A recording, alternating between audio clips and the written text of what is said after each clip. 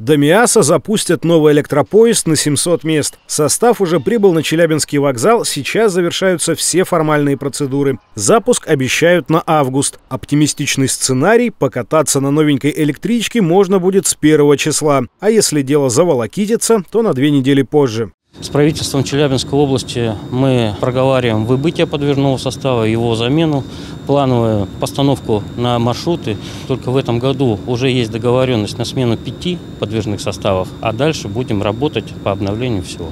Начинка вагона – стандарт современной электрички. Кондиционер, под каждым креслом USB-порт для зарядки гаджетов, есть даже кронштейны для перевозки велосипедов. А вот с доступностью для маломобильных, похоже, вышла осечка. При посадке с высокой платформы есть неудобства из-за высокого пола в вагоне, а подъемник для колясок выглядит как творение очень сумрачного инженерного гения. Впрочем, чиновники, которые принимали поезд, остались довольны.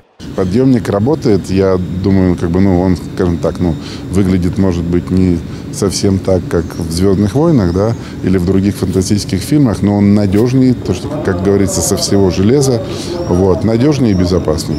С заявлениями о безопасности, конечно, можно поспорить. Например, у монструозного агрегата есть открытые вращающиеся части. Но на этом претензии к новой электричке заканчиваются. Едет поезд тихо и плавно. До конца года в область поступят еще четыре таких состава. Два четырехвагонных поезда запустят до Златоуста, два шестивагонника до Карталов. А в планах у властей сделать что-то вроде пригородного поезда до Екатеринбурга. Договорились с производителями, значит, как бы в современных условиях тоже это оказалось некой проблемой. Вот мы решили эту задачу и, соответственно, я думаю, что до конца года уже сможем точную дату назвать.